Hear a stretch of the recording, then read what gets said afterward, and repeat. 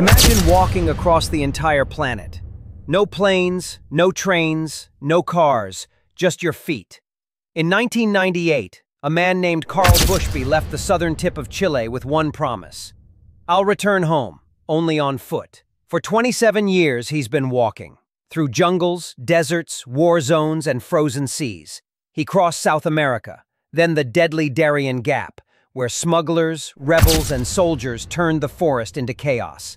It took him 50 days to survive that stretch alone. He reached the Bering Strait, and when the ocean froze, he and fellow traveler Dimitri Kieffer became the first to cross it on foot, drifting 80 kilometers off course on moving ice.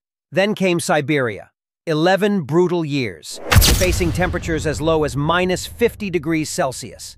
When the pandemic hit, he was trapped in Kazakhstan for four years, cut off by the Caspian Sea. So he did the impossible again swam across it in 30 days with only a small support boat. After nearly three decades, 25 countries, and 47,000 kilometers, Karl is still walking.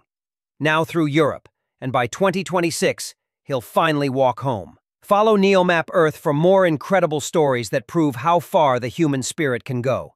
One step at a time.